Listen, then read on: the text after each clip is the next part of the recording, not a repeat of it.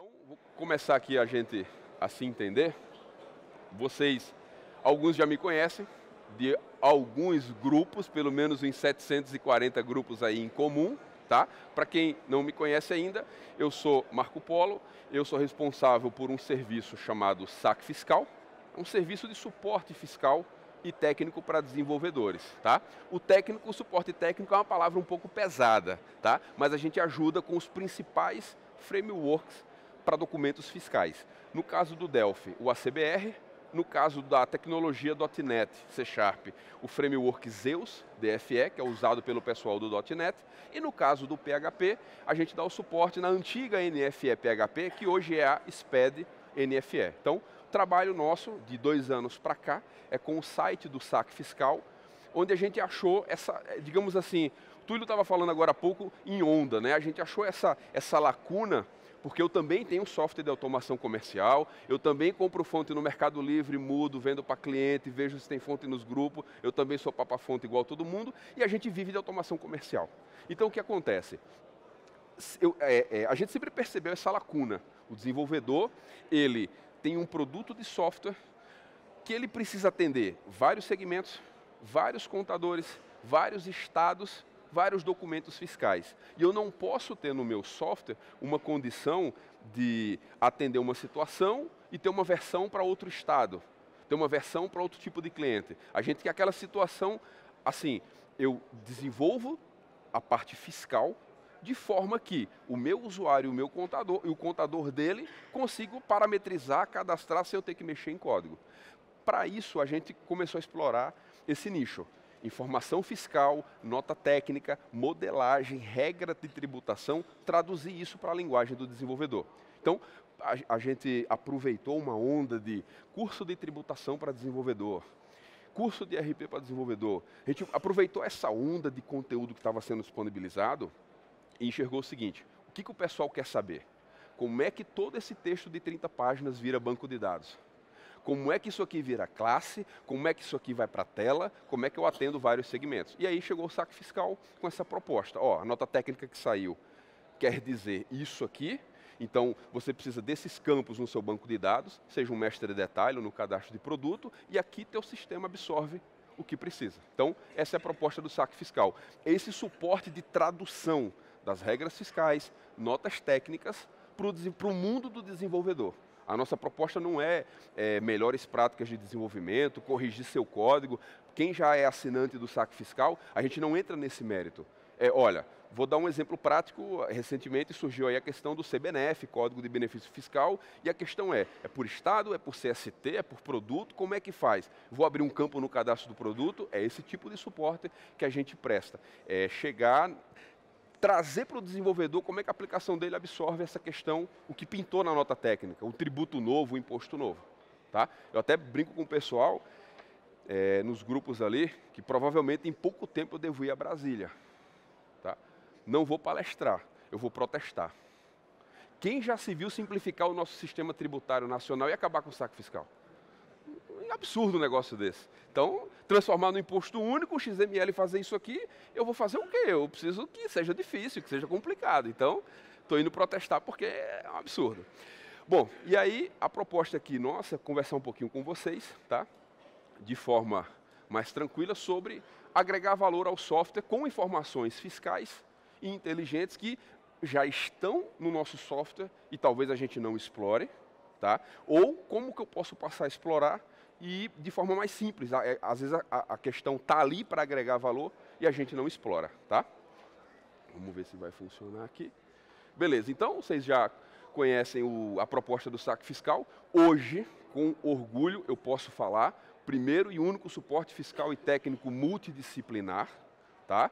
Pessoal que fornece API DLL paga que me desculpe, mas a gente dá suporte fiscal para desenvolvedor independente da tecnologia que use, eu não vendo, não forneço DLL. Por isso que a gente é multidisciplinar. Nós trabalhamos com as tecnologias Delphi, C Sharp e PHP nos frameworks de geração de documento fiscal. Então, por isso que a gente é multidisciplinar e ainda somos o único nesse formato. Então, a gente está à disposição de vocês, tá? justamente para explorar essa, o pessoal do marketing digital chama de dor, né? Agora está na moda chamar dor, né? Então vocês estão com essa dor aí, a gente está para ajudar nesse aspecto.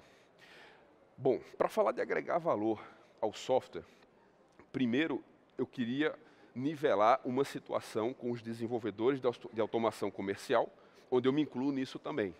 Tá? Parem, paremos de se chamar de ERP. Isso foi motivo já de live, de vídeo, da gente. O, que, que, eu, o que, que eu observo nos grupos que eu circulo? O pessoal que me conhece de grupos já sabe que a gente está em muitos grupos. É assim, ó, estou precisando de uma ajuda. Qual que é teu segmento? Que mercado que você atende? Ah, eu tenho um RP de padoca. Ah, eu tenho um RP de Lava Jato. Ah, eu tenho um RP de banca de revista. E isso, por incrível que pareça, vem contribuindo para que novos desenvolvedores, pessoal que vem chegando aí, essas gerações, comecem a se apresentar profissionalmente de forma errada. Por que, que eu posso falar isso? Porque quando a gente fala que eu tenho um ERP, tá, eu estou dizendo que eu propicio, eu entrego planejamento de recurso empresarial. E eu entrego isso ou eu só tenho estoque, vendas e financeiro integrado?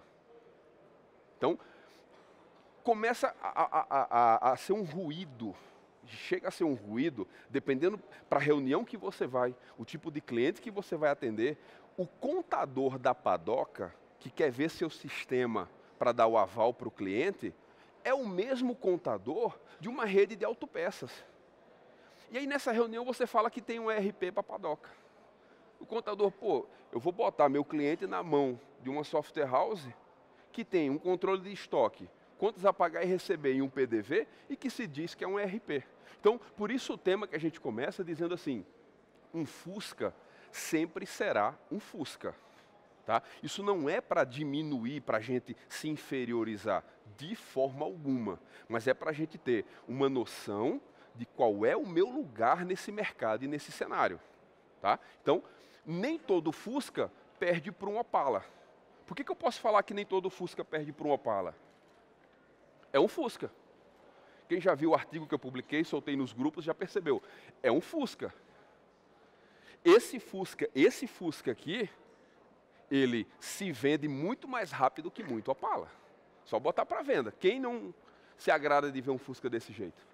Né? Então, não é porque eu tenho um sistema de automação comercial que eu preciso me vender como algo que eu não sou. Cuidado com o marketing. Marketing não pode ser uma enganação. Mas eu tenho que ter orgulho de ser um excelente software de automação comercial. Eu tenho orgulho do meu produto de software. Eu não preciso de ficar dizendo que eu sou um RP. Tá? Porque RP, primeiro, a gente já discutiu isso algumas vezes. RP é uma metodologia, gente. RP é uma metodologia de gestão baseada em planejamento de recurso empresarial. Então, quando eu falo que eu tenho um ERP, eu estou dizendo que o meu software entrega planejamento de recurso. A partir do momento que eu tenho uma falta de estoque, eu estou dizendo para o meu cliente que o meu software faz toda a previsão orçamentária para suprir aquilo ali. Não é só dizer que chegou no estoque mínimo. Planejamento de recurso é, ó, você vai chegar no estoque mínimo na data tal, vai precisar aumentar suas vendas em tanto, porque vai vir aumento de compra e você tem a integração como base. Tá? Para eu comprar esse material, eu vou pagar como? É o software que tem que dizer. Eu vou pagar em 30, 60, 90 ou, vou, ou é melhor se eu pagar à vista? Um ERP consegue te dizer a melhor opção, porque ele trabalha com orçamento, ele trabalha com previsão de fluxo de caixa, Tá? Ou seja, envolve mais coisas na metodologia RP. Então, eu estou é, batendo nessa tecla nas comunidades que eu participo, nos cursos que eu estou produzindo, no conteúdo que eu estou falando. Nós, so, nós não, quem se enquadra nesse cenário, é, nós somos automação comercial. Um bom software, tenho orgulho do meu software de automação comercial. Eu não sou um RP. Talvez você seja, você seja, talvez você seja.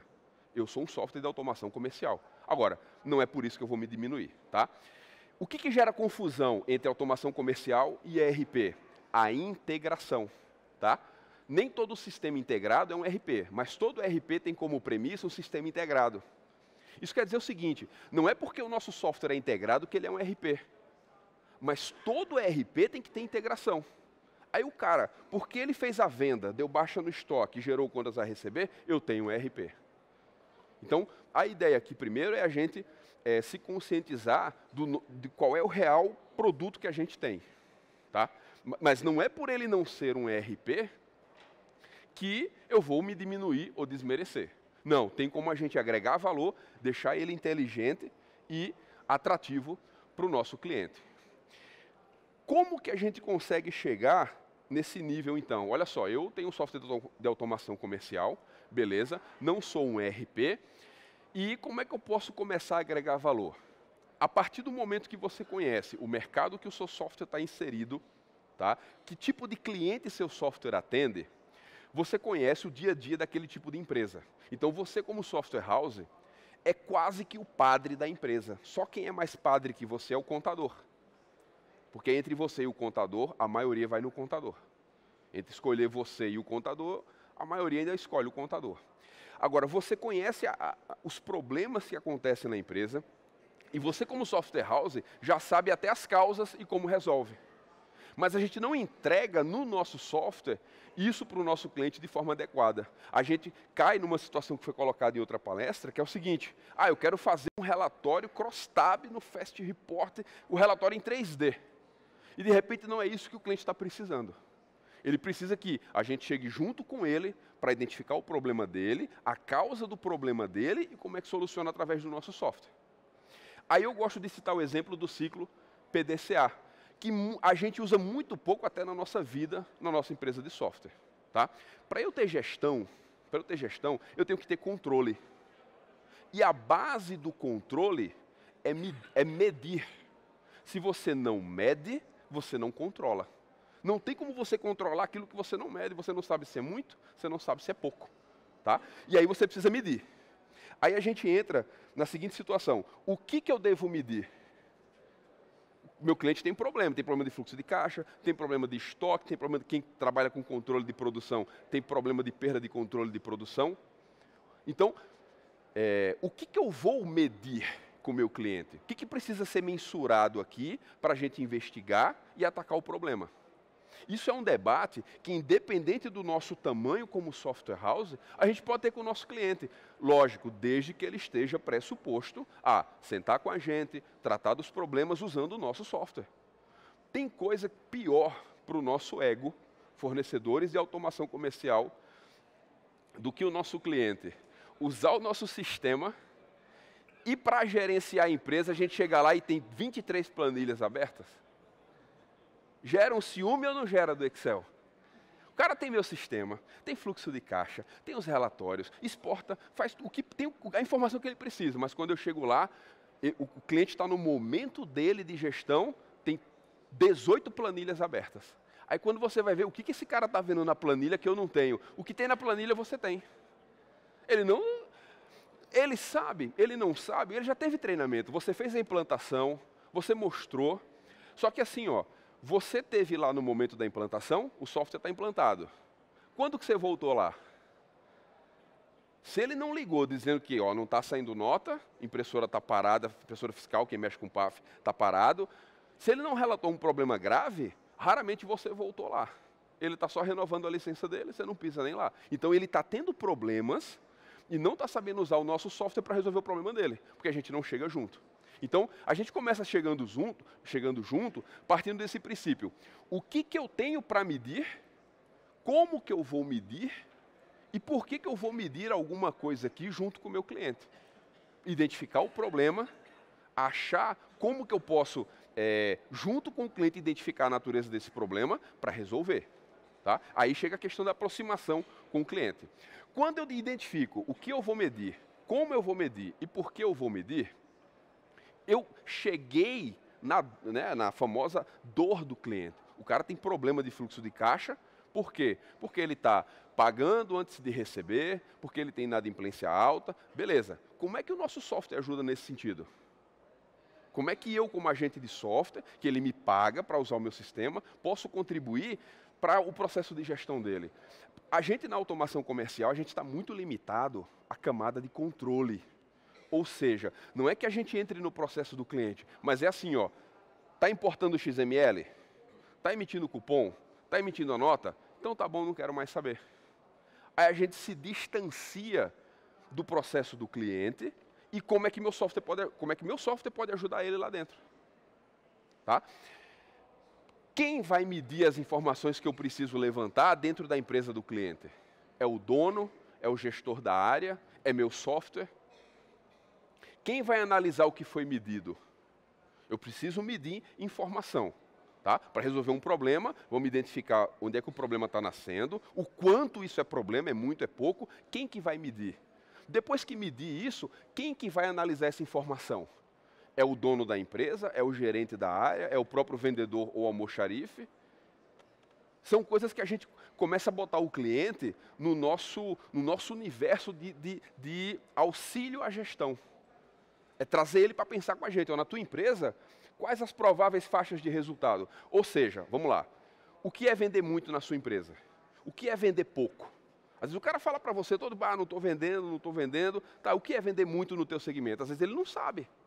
Então, a gente vê no dia a dia essa deficiência tá, em, na software house, onde ela se vende como software RP, ficha das galáxias, mas ela não está no dia a dia do cliente medindo as informações com ele. Ele está perdido em 18 planilhas, mas ele paga lá seu sistema. Mas ele está lá usando 18 planilhas para medir as informações que ele precisa. Bom, como é que eu preparo o terreno para chegar junto do meu cliente e usar o meu software para resolver o problema dele. Porque o que dá orgulho para a gente é quando a gente tem aqueles cases, né? Ó, eu tenho um cliente que o meu sistema resolveu o problema dele. Ele não perde mais estoque, ele não, perde, ele não tem mais venda perdida, ele, ele, tem, ele tem lá informação de CRM, tudo usando a minha ferramenta. É aquela situação que deixa a gente orgulhoso. Né? Bom, primeiro, a gente fala de indicadores. Tá? Poxa, mais indicador, gestão de qualidade, número. Eu vou falar isso com o meu cliente. A premissa é a seguinte: se você tem um problema, a gente vai investigar e a gente vai levantar informação e medir o quanto isso é realmente muito pouco, ruim, bom, precisamos medir. Tá? Tá bom. Quando a gente vai na internet, a gente vai nos blogs, vai na página do Sebrae, vai um monte de lugar, o que mais tem é indicadores. Ah, faz matemática, conta por aqui, indica índice de liquidez. Isso tudo tem pronto na internet. Você baixa lá, o que, que o pessoal faz? Preciso melhorar meu software. Aí vai na internet, pesquisa os indicadores, faz a query, porque ele sabe que a informação está no banco, joga no report, pronto, meu software tem indicador. A pergunta é: o seu cliente precisa daqueles indicadores? Ele tem nível de maturidade para lidar com aqueles indicadores? Não, você achou bonito na internet, índice de liquidez corrente. Ah, eu tenho isso no meu sistema, vai lá, faz a query, joga no report, aí visita o cliente, chega lá de carro, ó, tem um recurso novo no meu sistema, índice de liquidez corrente. Tá bom, o cara trabalha com lápis atrás da orelha, o cara anota venda num papel. O tempo que você vai falar para ele o que é índice de liquidez corrente. Então, às vezes, a gente precisa se preparar para nós construirmos o indicador que o cliente precisa e não pegar indicador pronto na internet. Tem indicador pronto na internet? Tem. Mas se o cliente precisa daquilo, vou dar um exemplo básico. Pessoal de varejo que não tem aquele cliente definido. É quem passa na porta, se interessa pela vitrine e pode entrar. Esse tipo de loja, ele tem um perfil de cliente definido, mas ele não tem uma massa definida assim, ó, eu tenho aqui um espaço amostral de 500 prospectos. Ele não tem isso. É quem anda na rua, se engraçou da vitrine, entra, pode comprar ou não. Muito bem. Esse lojista, ele sabe a massa de gente que passa na porta dele em uma hora? Ele mede isso? A gente tem como conceber ferramenta para isso? Nem que fique alguém durante uma hora só marcando ali, ó, quantidade de gente que passa. Aí eu tenho uma informação, ó, em uma hora aqui na tua vitrine passaram 80 pessoas. Pronto, é um número. Esse número isolado ele não diz nada. Agora quando eu começo a medir, ó, em uma hora entrar, passaram 80 pessoas, entraram 20. Opa, eu já sei que a cada hora, a cada hora, 80 pessoas passam, 20 entram. Como é que foi isso ontem? Como é que, como é que, foi, como é que foi esse número semana passada? Eu preciso começar a medir para comparar. Aí eu começo a, a, a chegar junto do meu cliente, numa realidade dele. Esse cara de loja, é, minha aplicação, por exemplo, minha aplicação, eu tenho um módulo mobile ali que na frente da loja eu consigo medir tráfego. Tráfego, tráfego, né? Estou medindo tráfego. Tá? E eu entrego isso para o meu cliente. Eu estou construindo um indicador para ele. Quantos clientes entram a cada X que passa? Tá? Então, para você parar de pegar indicador na internet e construir indicador com o seu cliente, o primeiro passo é esse. Define a ficha técnica do indicador com o seu cliente. Vem cá, onde é que você tem problema? Vamos começar a medir as coisas. Vamos medir o quê? Aqui tem um exemplo, um indicador que você vai na internet, não existe esse indicador pronto. A gente cria com um cliente que tem um problema. Esse cara aqui ele tem um problema de entrega de nota no prazo. É um problema recorrente daquele cliente. Tá bom. Vamos ver o quanto essas notas são entregues no prazo ou não. Quantas notas eu tenho emitidas no prazo e quantas notas são emitidas? Agora eu tenho um número relevante, ó. Eu tenho a cada 20 notas emitidas, 10 são entregues no prazo tu tem uma taxa de 50% de eficiência na entrega das notas. Isso é bom ou é ruim? Isso é terrível. Estou dizendo que metade dos meus clientes não recebe no prazo. Agora, isso é um indicador pronto da internet? Não. Isso é uma coisa que eu, conversando com meus clientes, eu levantei. Poxa, todo mundo se queixa desse problema. Atraso de entrega das notas. Atraso de entrega das notas. Onde é que está esse problema? Vamos lá. Agora, se o cara tem 500 notas emitidas e 10 entregaram fora do prazo, dependendo do segmento dele, está no lucro, irmão. Para de reclamar. Então, falta a gente chegar e entender onde é que está o problema do meu cliente e como é que eu construo indicadores para ajudar ele. Tá? Isso não é um indicador pronto, acadêmico. Eu simplesmente peguei as notas emitidas e divido pelas que foram entregues no prazo. Preparar a ficha técnica do indicador é isso, é identificar o que vai ser medido, o que, que eu preciso levantar e em que, que vai ser medido, qual a unidade de medida que vai ser utilizado esse indicador. Tá? Depois eu preciso garantir a fonte de dados. Tá? Não adianta a gente achar o seguinte, ó, eu vou ajudar meu cliente. Vou lá, vou identificar problema, vou gerar informações no meu software para ajudar aquele cliente. E eu não tenho garantia da fonte de dados. O que, é garantia da fonte de dados? Vou dar um exemplo vivido por mim. Tá? É, em Manaus, a gente administrava uma indústria, tá? e a gente tem na ordem de produção a estrutura de produto. O que, que é a estrutura de produto? É uma receita. Ó, para fazer esse produto, tu precisa tanto disso, tanto disso, tanto disso. Ótimo. Se eu vou fabricar 10 produtos por mês, e cada um leva uma unidade, eu só preciso de 10 quantidades de matérias-primas. Comprei as 10 quantidades de matéria-prima.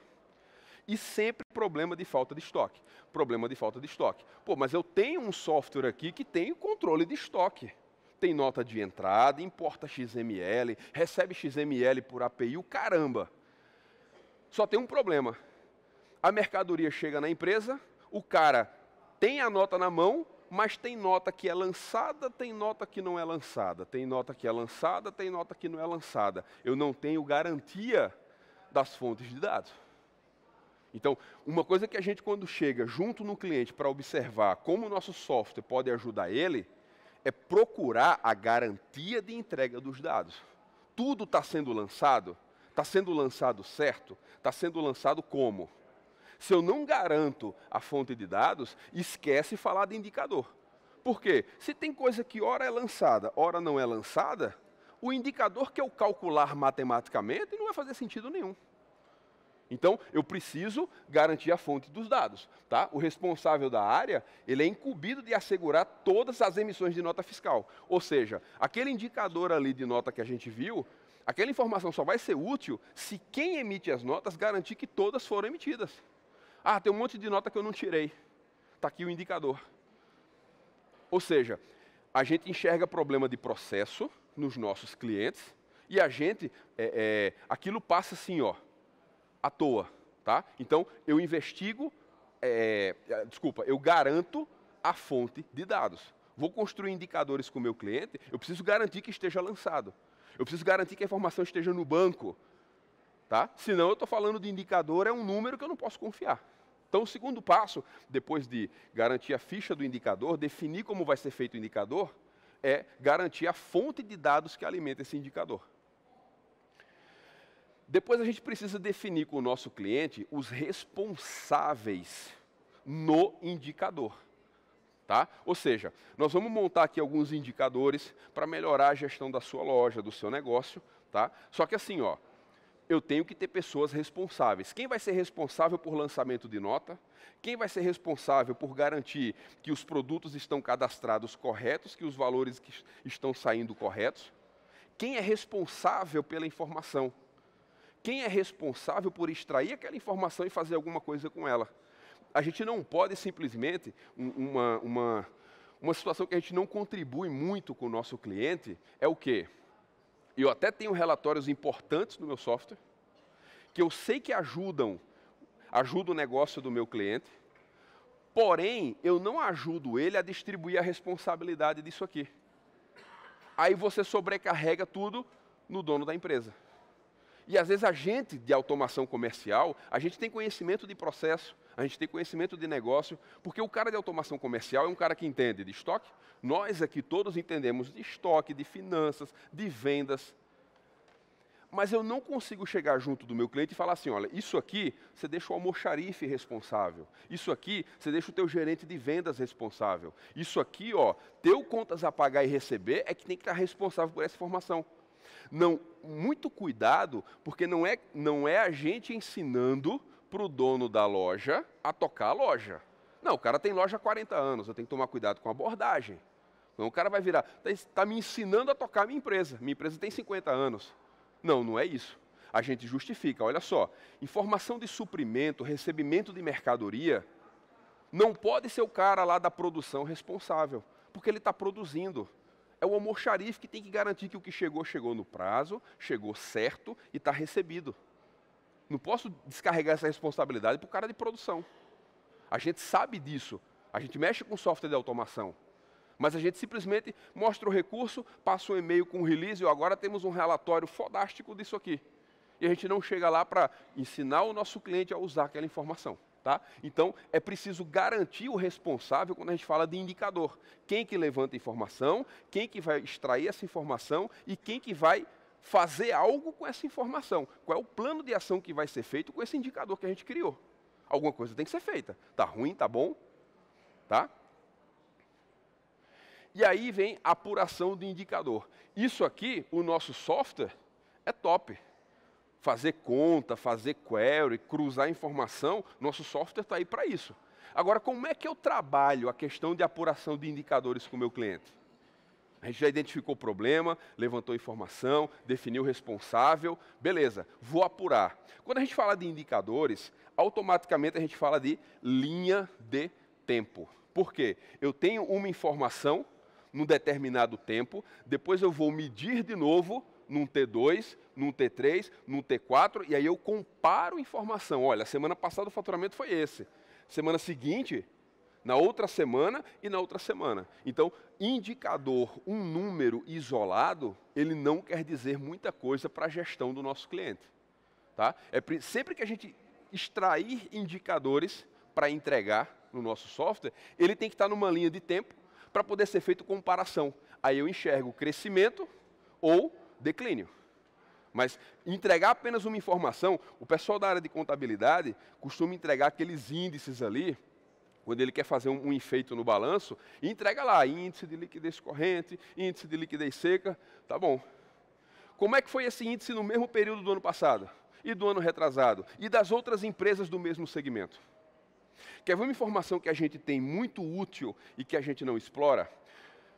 Quem aqui é, tem software, por exemplo, de autopeças, né, tem vários clientes do segmento de autopeças, vocês têm informação no banco de dados dos clientes, vocês têm acesso a conversar com o cliente, não é que você vai usar os números dele, tá? mas você consegue saber os números, como é que está aquele cliente naquele mercado.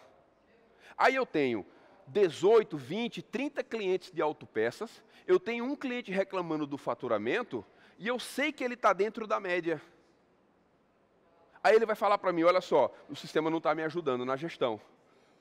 E eu sei que ele está faturando dentro da média do mercado dele e não exploro isso. Simplesmente está bom. Está chorando, o faturamento está ruim. Não, cara, olha só, eu estou presente em outros clientes deste segmento e você está na média do faturamento. Eu não preciso entregar informação estratégica de nenhum cliente, mas eu consigo dar informações do mercado, do segmento desse cliente, para poder posicionar ele. E a gente não faz isso. A gente se limita a fazer o quê? O cara quer um relatório, o cara quer uma tela, o cara quer um recurso. Então, a gente não explora um pouquinho o mercado que a gente tem. Quando a gente fala então de apuração de indicadores, é comparar o que a gente apurou numa determinada linha de tempo. E isso aqui o cliente entende, ó, essa semana você faturou isso, semana, que, semana passada você faturou isso aqui, semana retrasada você faturou isso aqui. Isso aqui ele entende. Construir um indicador só para entregar para ele um número, não, não diz muita coisa. Tá? Então, quando se falar em apuração do indicador, é sempre na linha de tempo. E aí, a gente consegue trabalhar junto com o cliente é, a questão das metas. Tá? O cliente está faturando pouco, o cliente está com problema de estoque, ele tem perda de estoque, vamos apurar o quanto é essa perda de estoque, ou o cliente tem um problema de custo, o custo dele, a despesa é alta, vamos ajudar a medir. Tá, vai medir para fazer o que com isso? Aí entra o plano de ação. Eu consigo, como software house, ajudar o meu cliente num plano de ação, por exemplo, estipulando metas. Olha só, hoje você tem uma perda de estoque no seu processo produtivo de 30%. Vamos apurar onde está esse problema na produção. Eu tenho software de controle de produção. A gente está apurando na linha do tempo as perdas e a gente vai estipular a meta. Olha só, agora vamos atingir uma meta de 25%. Hoje eu perco 30%. Vamos estipular uma meta de 25%. Para quanto tempo? Isso é o cliente que sabe do negócio dele. Ah, daqui a tantos meses eu quero estar tá tendo só 15% de perda de produção. Então, com o nosso software, rodando no nosso cliente, com as informações que a gente consegue minerar, eu consigo chegar junto do cliente e estipular meta com ele. Agora, o meu cliente reclama de gestão, reclama de faturamento, reclama de pessoal, o meu software é só mais uma despesa. É a licença que ele paga. Então, quando eu conheço do processo do cliente, eu sei que as informações estão no banco de dados do cliente, eu consigo levantar indicadores para trabalhar esses indicadores com o cliente e eu consigo ajudar ele a construir meta. Ou seja, eu, como software house, eu estou participando da gestão do meu cliente. Lógico, tem clientes e clientes. A gente sempre tem na nossa carteira de, de clientes, assim, esses clientes têm o meu WhatsApp. Esses caras têm prioridade, esses eu tenho que atender. E tem cliente não, que é aquele cliente que a gente trata na carteira padrão. O cara vai passar pelo suporte, não dou prioridade. Mas aqueles clientes top 10, se eu não estou participando da gestão, construindo gestão com eles, eu sou só mais uma despesa na empresa deles. É o meu software, ele entende assim, eu tenho que pagar porque eu tenho que ter um sistema, está pagando o licenciamento, e eu estou só passando pela vida do cliente. Eu não estou construindo nem estou agregando nada no negócio dele. Sendo que o meu software tem banco de dados, meu software tem consultas mirabolantes, relatórios mirabolantes, eu não estou explorando isso com o meu cliente. Tá? Então, é, construir indicadores com o cliente, tá? extrair informações estratégicas, seguindo pelo menos esses quatro passos básicos. Define o um indicador com o cliente, garante a fonte de dados, determina responsáveis pelas informações apura corretamente esses dados e analisa e estabelece metas com os clientes. Aí isso pode ser na área fiscal, isso pode ser na área de suprimentos, isso pode ser na área comercial. Tem muito campo para a gente explorar a gestão com o cliente, com o nosso software, mas a gente vê ele lá usando 18 planilhas e não o nosso software. Bom, a gente contextualizou a necessidade de extrair indicador, de extrair informação, e a gente sabe que a gente tem essas informações lá no nosso software, tá? Mesmo que eu não me chame um ERP. Mas eu sou um software de automação comercial, tenho orgulho do meu produto e eu quero agregar para o meu cliente partindo desse princípio. Quais são as informações que eu posso extrair e agregar valor, tá? Tem uma figura importante que é o contador da empresa na nossa área de automação comercial. Tá? Eu digo que o contador é o padre da empresa. E eu preciso garantir o meu software no céu. Porque é uma realidade. O, o nosso cliente, ele troca de software, eh, desculpa, ele troca, é, ele troca de software, mas não troca de contador com a mesma facilidade. A gente sabe que troca de software não é uma coisa simples. Pô, migrar os cadastros, o cara não vai trocar meu sistema assim. Mas eu não posso ignorar. Tá? Uma hora ele vai trocar meu software, mas o contador ele não troca tão fácil. Demora muito para ele chegar a trocar o contador dele. Então, quando eu começo a explorar os dados que estão no meu sistema e entrego para o contador, eu estou começando a ganhar um agente importante, eu estou trazendo o contador para o meu lado. Tá? Deixa eu dar uma acelerada que já me assinaram no tempo. Vamos lá. Algumas informações que eu posso extrair são fotos fiscais. Tá? O que, que eu posso entregar que agrega valor e que eu posso, assim, pô, ganhei o contador do meu cliente. Ganhei o contador do meu cliente, eu ganhei meu cliente. Tá? Tá do meu lado. Vamos lá. CFOP a mente do contador funciona em função de CFOP. A gente que é de automação, a gente sabe, pô, CFOP não quer dizer nada, é só qualificar a operação, é uma venda, é uma compra, é uma remessa, mas a mente do contador funciona em função de CFOP. Então, o que, que eu posso fazer para agregar valor? Entrega a movimentação por CFOP no relatório. Está aqui, ó, final de mês, todas as entradas, todas as saídas, todos os produtos, todos os valores por CFOP tu já, tu já se limpou com o contador que vivia te xingando, porque é assim, ó, o contador vive xingando a gente e a gente vive xingando o contador, isso é uma briga eterna. Então a gente começa a namorar os contadores. Entrega a movimentação por CFOP. Está aqui, ó, todas as notas por CFOP, valor por CFOP, quanto que ele faturou no 5101, quanto que ele faturou no 5. Cara, isso aqui é um sonho para o contador ter isso aí, porque é isso que ele faz lá no escritório. E essa informação está onde? Está no nosso software, o cara emite nota com o nosso software eu não exploro isso. Outra informação importante, CST. Tá? Quem já fez o nosso curso de tributação já sabe. Quem define como vai ser uma tributação é o CST, não é o CFOP. E aí eu estou entregando para o contador do meu cliente o seguinte, ó, movimentação por CFOP e eu já estou entregando de bandeja a tributação. Olha só, ele comprou nesses CSTs essas mercadorias e esses valores por CST, e ele vendeu essas mercadorias, esses valores por CST. Se tu entrega isso aqui, seja num papel impresso, exporta numa planilha, isso aqui é uma tarde de um contador. Pode acreditar. Pô, não acredito, mas é. Por quê? No escritório de contabilidade, a dinâmica é diferente. A gente está emitindo documento fiscal com o nosso software. Lá eles estão escriturando. Então, a mente lá é assim, ó. A vida começa com CFOP. O bebê para o contador é um CFOP, é um nenenzinho ali é o CFOP. Contador, qual é o CFOP? Depois, qual é o CST? É assim que ele raciocina. Como é que vai ser tributado? Então eu posso entregar produtos por CST e os valores movimentados por CST. Está aqui, ó, manda para o teu contador. O contador já começa a te olhar com outros olhos. Tu está ajudando no trabalho dele. Resumo de ST. Aqui era para ser ICMS ST, tá? O que, que entrou com ST e o que, que saiu com ST? Faz essa query, põe no relatório, põe numa planilha e manda para o contador do seu cliente. Está aqui, ó, meu sistema agora entrega resumo de ICMS ST. O que, que entrou com ST e o que, que saiu com ST? Foi outra tarde de trabalho dele.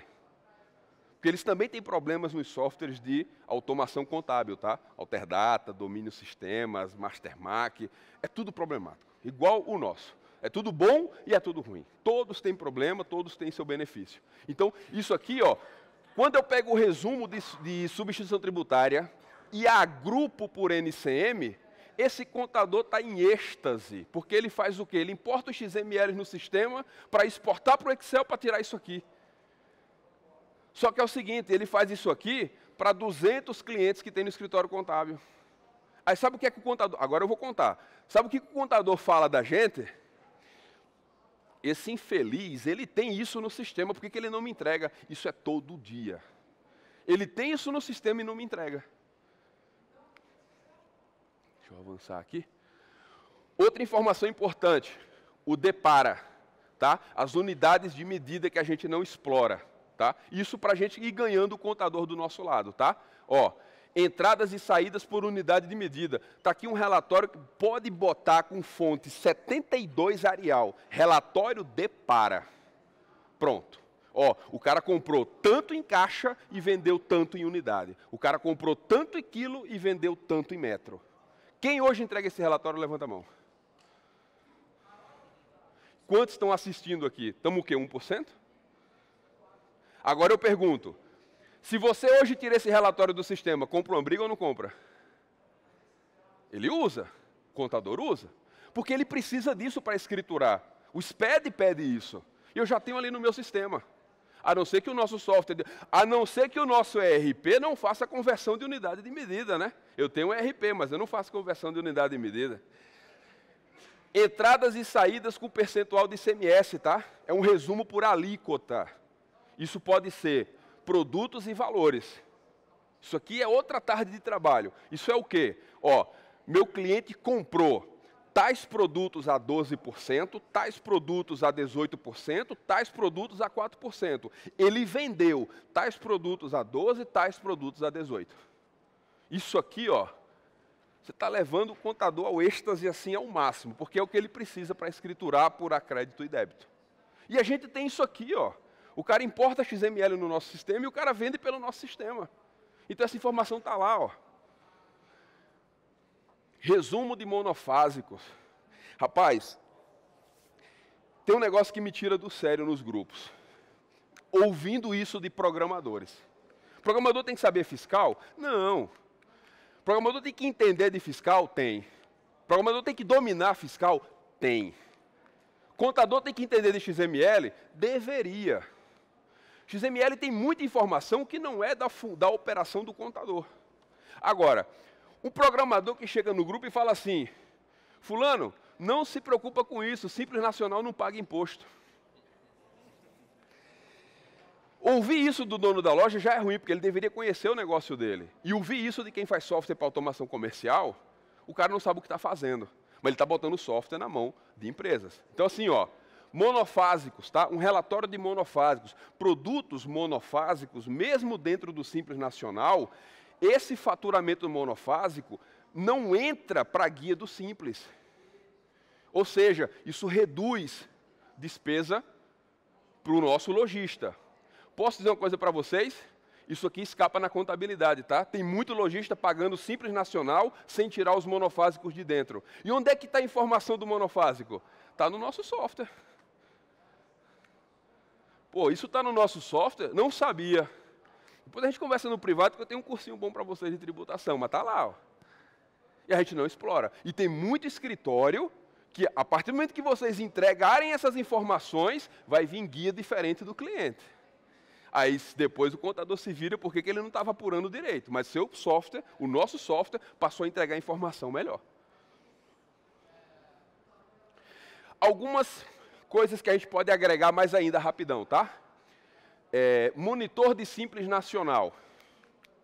Como que eu posso cuidar do meu, do meu cliente?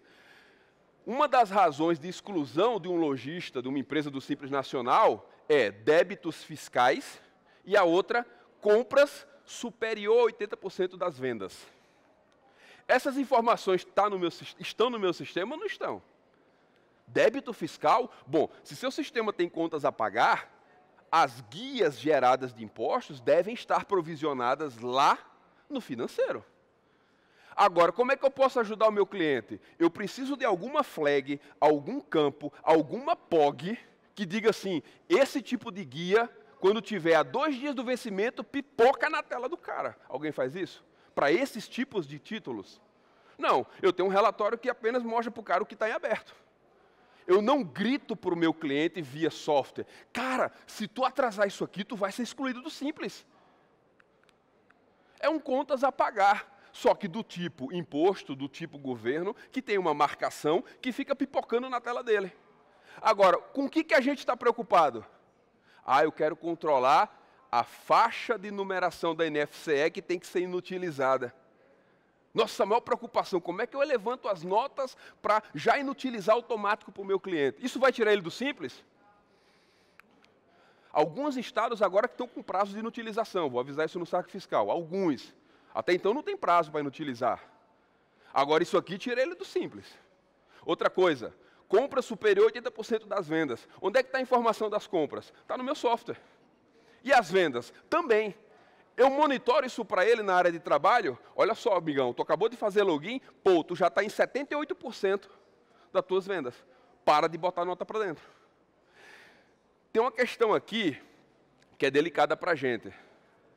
Que é delicada para a gente. É o quê? Cliente que não compra tudo com nota, cliente que não vende tudo com nota, eu vou me meter nesse negócio, não vou me meter nesse negócio. Questão não fiscal. Bom, vou dar uma dica que é o seguinte: às vezes o cliente não compra tudo com nota, muitas vezes não vende tudo com nota. Mas o que acontece no contas a pagar e receber não é problema da Cefaz. E eu tenho gestão sobre isso. Então, eu posso controlar o que não está na Cefaz? Posso. Está lá no contas a pagar e receber. Tranquilamente. E não é problema da Cefaz. E eu posso ajudar ele a não cair. Cair do Simples Nacional. Monitor de ponto de equilíbrio. Rapidinho, está aqui, ó. O que é ponto de equilíbrio? A gente até viu ali na palestra do Túlio, do mestre Túlio. Ponto de equilíbrio, a empresa chegou num faturamento onde ela pagou todos os custos e despesas. O próximo real, dali para frente, é lucro. Beleza. Eu tenho no meu sistema contas a pagar e receber. Se eu classifico essas contas a pagar e receber no que, que é custo fixo, despesa variável, eu tenho essa informação, ó, custo fixo, receita e custo variável. E aí eu consigo entregar para ele, olha só, você atingiu o ponto de equilíbrio da sua empresa no dia 25 do mês. Tu só tem mais cinco dias para realizar lucro. Opa, e agora o que, que eu faço? Vamos trazer esse ponto de equilíbrio para o ponto ideal. O ponto ideal é o dia 15. Vou conseguir ter 15 dias de lucro? Não. Mas se eu trouxer do dia 25 para o dia 23, do dia 23 para o dia 20, para o dia 18, eu começo a melhorar a gestão do meu cliente. Só com essa informação, ó, que está lá no meu contas a pagar e receber. Isso já está no nosso sistema. Só que eu não exploro. Tá? As apresentações vão ficar disponíveis para vocês fazerem downloads, tá? Depois quem precisar vai solicitar, o pessoal da CBR vai disponibilizar. A gente pode detalhar depois ali nos grupos, em privado, vocês vão me chamar. Poxa, eu queria explorar mais aquele relatório que você falou. De onde veio essa informação? Eu quero mapear isso no meu sistema. Entre em contato com a gente que a gente vai ajudando a, a, a achar essas informações aí no sistema de vocês, tá? Bom, alguns informes rapidão, que eu já estou com o meu tempo estourado. Sacofiscal.com.br é onde a gente trabalha, é o nosso serviço, tá? E exclusivamente no ACBR Day é onde a gente deixou para fazer o lançamento do plano VIP via WhatsApp. A gente atende via Helpdesk, tá? Então o pessoal abre chamado, tem um SLA de até 72 horas para a gente responder. Muita gente pede o plano WhatsApp e eu venho resistindo, porque eu vou perder vida própria. Mas a gente tem que atender o que o pessoal pede. Então a gente estipulou umas regrinhas, mas a gente tem um plano VIP. A gente consegue atender hoje 30 vagas no plano VIP, tá? Hoje, para começar. Sendo que essas 30 vagas já tem umas 10 aí que já está meio que preenchida. Mas o lançamento do plano VIP está no ACBR Day, então a gente deixou, não, não postei isso nas redes sociais do Saco Fiscal, não mandei e-mail para ninguém, porque a gente, uma forma de retribuir o que a CBR está fazendo, nos abrindo espaço aqui para falar para vocês, é disponibilizar prioridade de vagas. Então, para quem está assistindo, está aqui o nosso site, tá? 99 por mês é o plano VIP, um SLA de 12 horas, atendendo só documentos fiscais, tá? O suporte que a gente dá nos frameworks não dá para ser por WhatsApp, porque eu não vou abrir 38 linhas de um WIT seu para identificar onde é está o problema ali no ACBR. Então, aqui fica só para atendimento mesmo, regra fiscal, nota que está rejeitando, coisas de urgência que o pessoal pediu. Bom, a gente lançou sexta-feira o módulo 3 da nossa Academia de Automação Comercial. Deixa eu falar rapidão. O que é Academia de Automação Comercial? Eu fiquei pé da vida quando fala assim, ó, curso de RP para programadores. Aí você olha e menta, todo mundo tem curso de RP, curso de RP, curso de RP. Cara, automação comercial.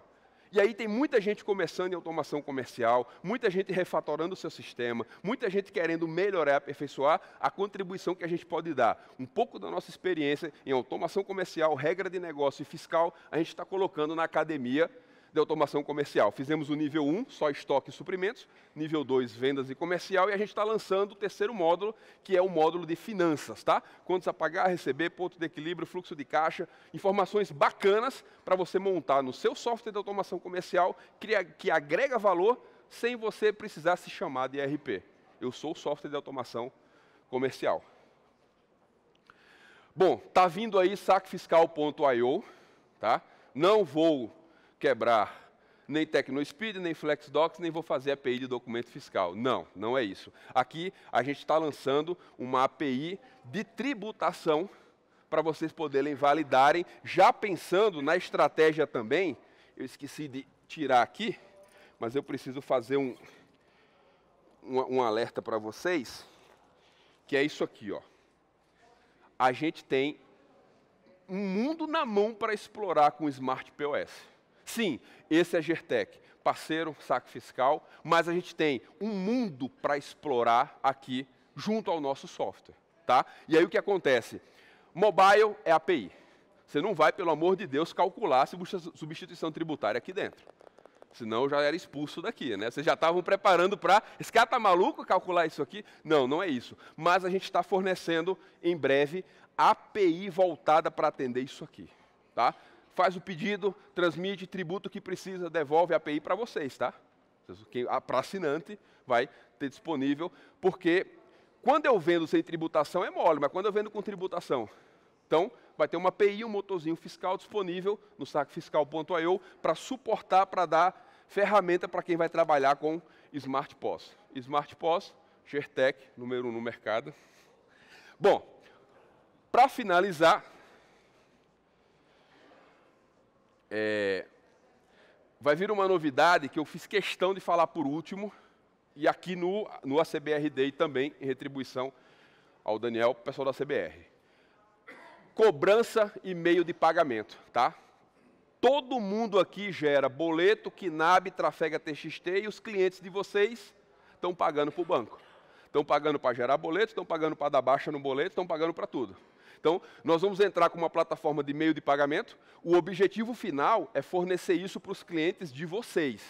Mas, inicialmente, isso aqui é para que vocês experimentem, vocês usem, vocês já façam a cobrança de vocês via meio de pagamento, via plataforma e não via banco, para a gente poder economizar. Quando a gente abrir meio de pagamento para vocês oferecerem para o cliente de vocês, Software House também vai ser comissionada no valor que o cliente lá está pagando no boleto.